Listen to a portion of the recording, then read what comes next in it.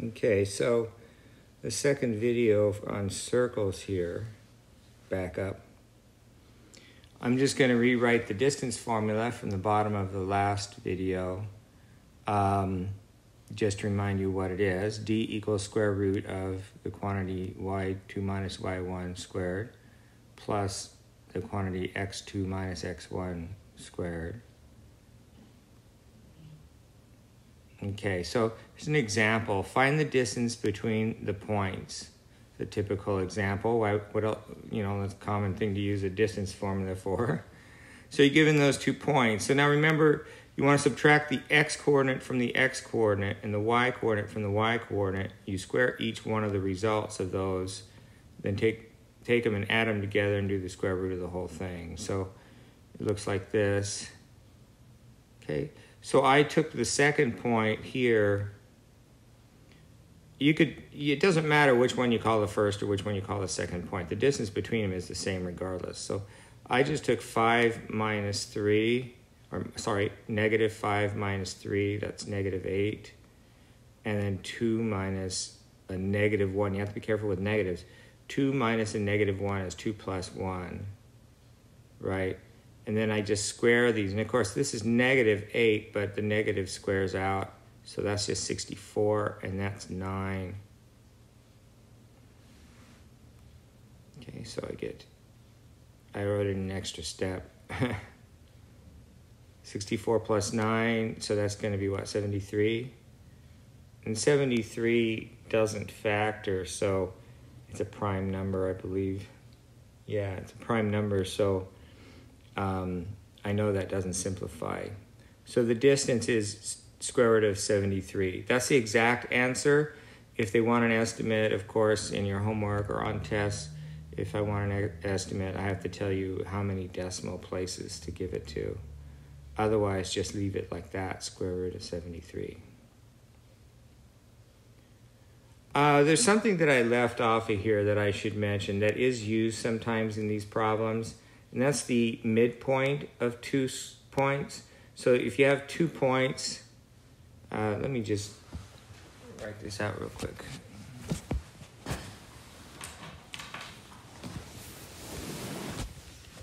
Say you have two points. Say we have this point here, and we have this point here, and we want to find the point halfway between them, right around there.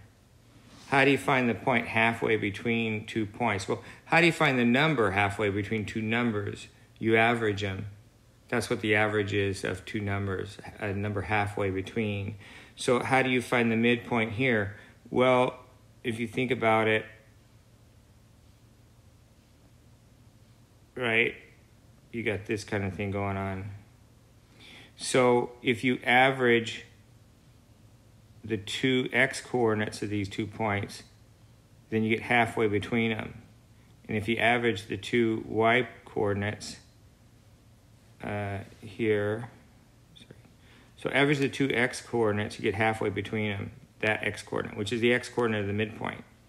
If you average the two y coordinates of these two points, right, then you get halfway between them, which is the y coordinate of the center. So all you do to find the midpoint is you just average the x coordinates of the two points, make that the x, that'll be the x coordinate of your midpoint, and average the y coordinate. So remember how to average, you just add the numbers and divide by two. That works even if they're negative. You just add the negative. Okay, so here you're adding the numbers and dividing by two, and you get the first coordinate and the second coordinate. Add the first coordinates divide by 2, add the second coordinate, divide by 2. So that does come up, and for some reason I left it off of the main notes here, so thought I'd throw that in. It's an extra bonus for those who watch the video like you're supposed to.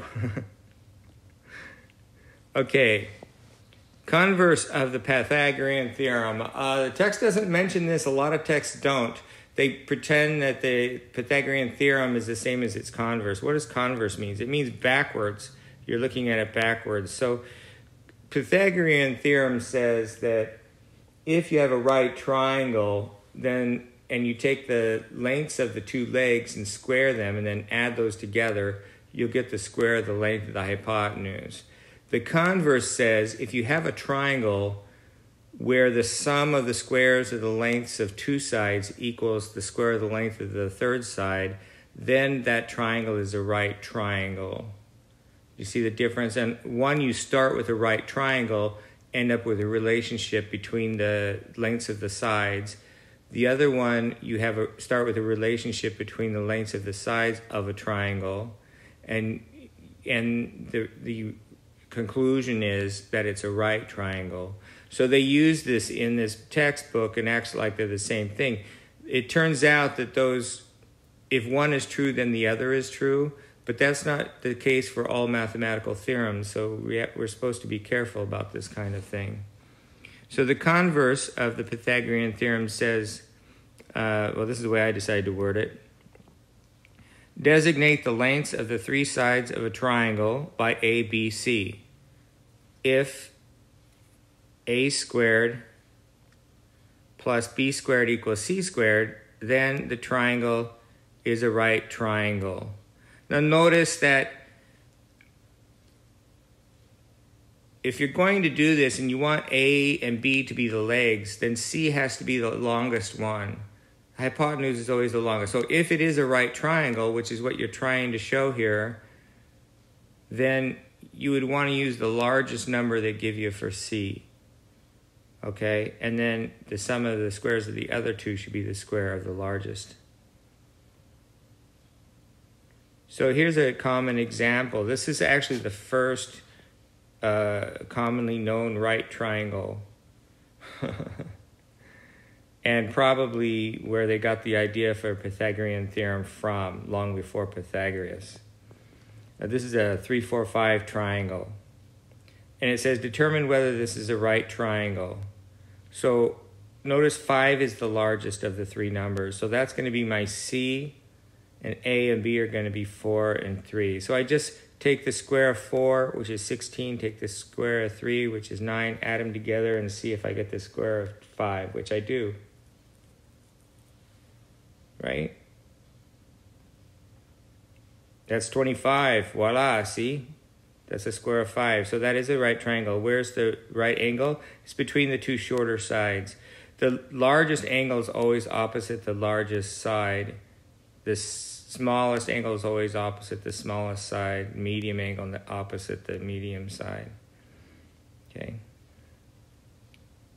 So if it said determine whether this is a right triangle, your answer would be uh, yes.